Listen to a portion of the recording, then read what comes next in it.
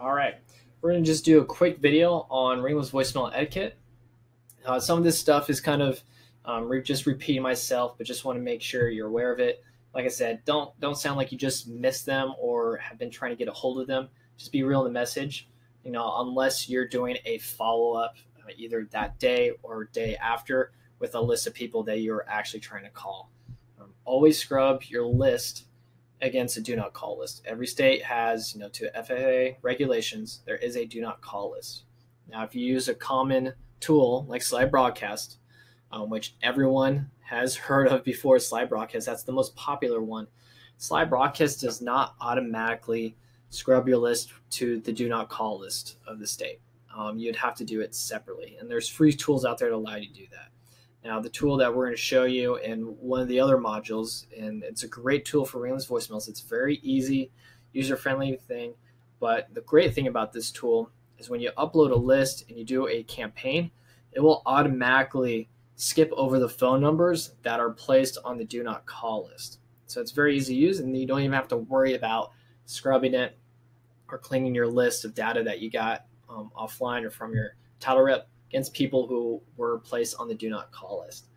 Um, always, I would say start your own do not call list. If this is going to be a tool or strategy that you're going to implement, um, you know, even if you're not doing it every week or do a couple times a month or even once a month, it's good to just start your own and you can have a separate Excel spreadsheet, whether it's your assistant doing it or you have a virtual assistant doing it for you.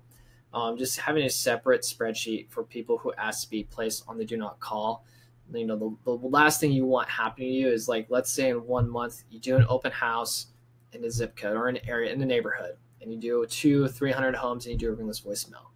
And maybe there's you know five people out of that that called you back saying hey i would like to be placed on the do not call list. I don't like getting phone calls. You're going to get a few people like that. Well let's say you did not put them on a do not call list and you never took note of it and let's say six months later, you have another listing or open house in the same neighborhood. You get your list of neighborhoods and you do a ringless voicemail blast again.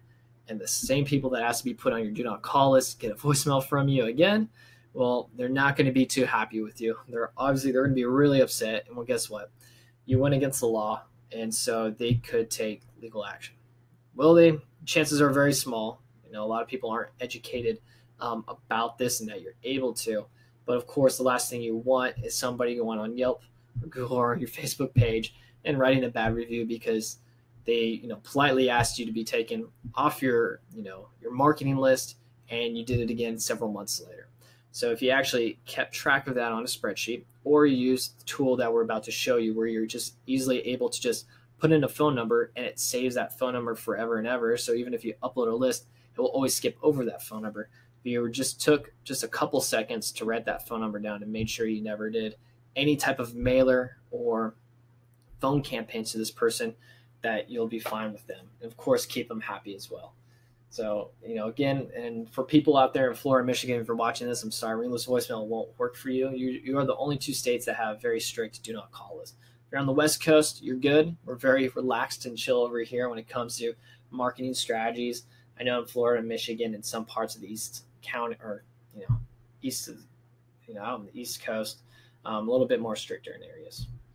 Again like i said for those of you call, who do call back just be polite and just be aware you know there it's real estate. I'm sure we've all gotten door slammed in the face even with cold calling we've been hung up on. There are just people out there you know rude and grumpy people out there that will not like it. Small percentage but it's all right. It's a numbers game. All you have to do is just get through those people to get the people that actually appreciate the call, getting appreciate getting reached out to, that will actually be turned into leads. So, just some of the other things too. Just really be aware of the do not call list. Um, be polite, and that's why pay attention to the call tracking module. Um, I know I've said it several times before, and at this moment you can't wrap your head around it, but I'll actually explain more in the call tracking module about having different phone numbers and a different voicemail um, box system for each phone number. You know, if you're doing a ringless voicemail blast, the whole point of it is just to make it easy and be able to go on your day. And why, you know, like I said, we'll break it down like this. There's going to be few, three different types of people when you do a ringless voicemail. There's the people that just don't call you back, and that's fine. The people who do call you back, there's two types of people. They're calling you to be asked to be taken off your marketing list, or they're going to be calling you back asking for information. And what I'll explain in the call tracking module is setting up a Uh, call flow and a voicemail box system. So when people call you back and you don't have to worry about it, you can have it to where your phone doesn't ring, but they're calling, they're being sent to a voicemail box. Of course, they're going to leave a voicemail. They're either going to be leaving a voicemail asking to be taken off your marketing list, or they're going to be asking for more information. That way, you can go in the call tracking software, and all the voicemails are recorded. Of course, it'll be a, you'll be able to listen to them. So the ones that are asking to be taken off your marketing list, well, guess what? You don't call them back, and you just put them in your spreadsheet. Ones who do ask for information, well, at the end of the day, you can then call those people back and try to get some leads, or try to get you know give people information about what you're reaching out them to, whether it's a open house, a new listing, or whether they're looking to sell anytime soon.